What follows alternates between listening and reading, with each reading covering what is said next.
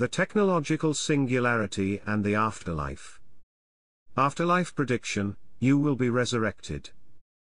The technological singularity is a theoretical future point that life, technology, and the universe appear to be evolving towards, one of maximum consciousness, creativity, and intelligence.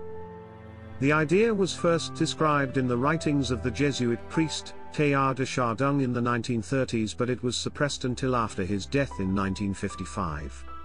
De Chardin believed the universe is evolving towards a point of maximum consciousness which he called the omega point. In 1956, a similar idea appeared in Isaac Asimov's The Last Question. Of the 500 books Asimov published, it was his favorite story.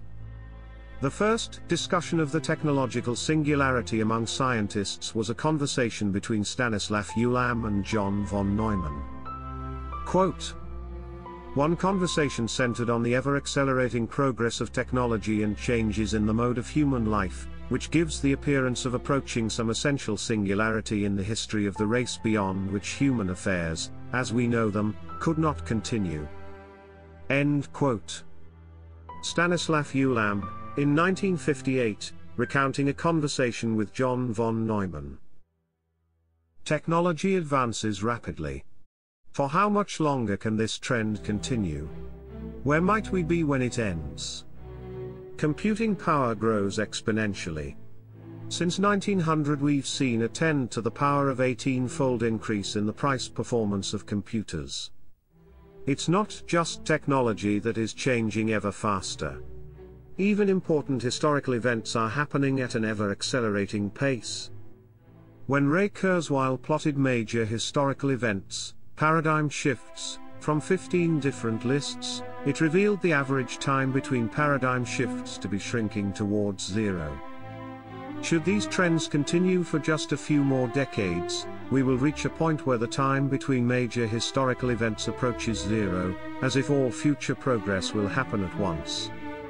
Quote, Essential historic developments match a binary scale marking exponentially declining temporal intervals, each half the size of the previous one and equal to a power of two times a human lifetime. It seems that history itself is about to converge around 2040 in an omega point, Teilhard de Chardin, 1916, or historic singularity, Stanislav Ulam, 1958. End quote. Father of modern AI. Jürgen Schmidhuber in his History Converging. 2006. Quote.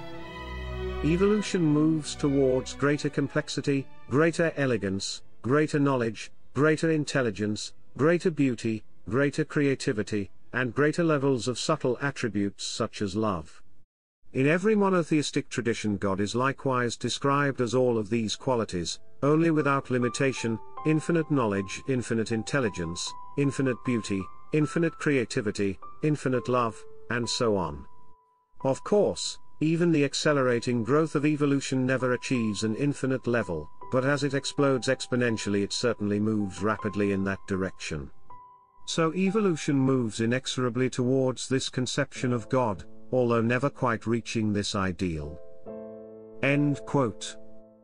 Futurist and inventor Ray Kurzweil in The Singularity is Near, 2005. Quote. In the final anthropic principle or if anything like an infinite amount of computation taking place is going to be true, which I think is highly plausible one way or another, then the universe is heading towards something that might be called omniscience. End quote. Physicist David Deutsch in The Anthropic Universe, 2006. If this idea is right, the ultimate end of progress is to reach the limits of knowledge, complexity, and intelligence.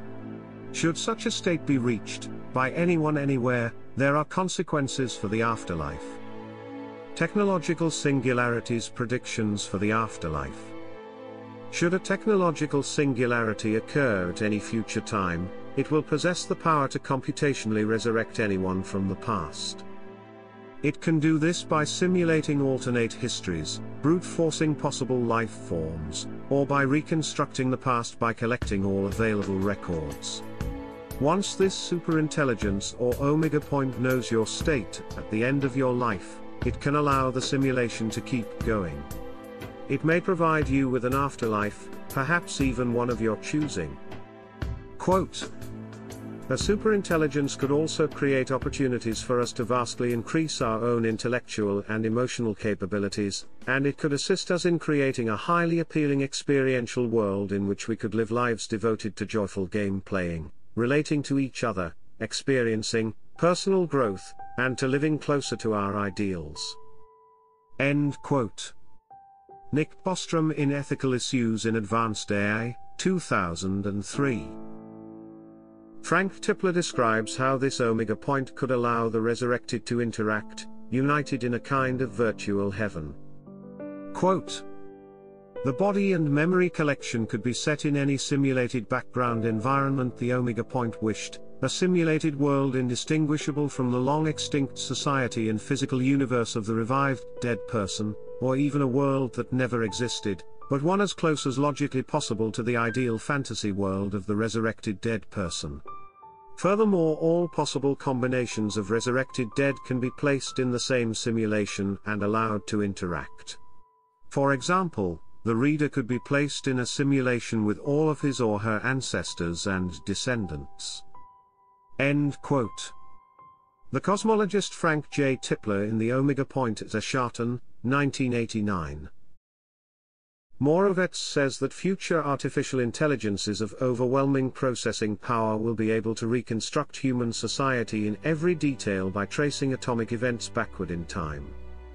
Quote, it will cost them very little to preserve us this way.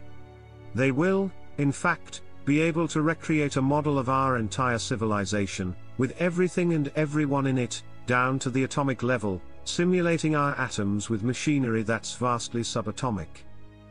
End quote. Hans Moravec in interview for Wired, 1995.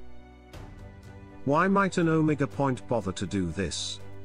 Would you do nothing if you were in a position to save billions of lives, and could do so at little cost to yourself? C. Are there universal values?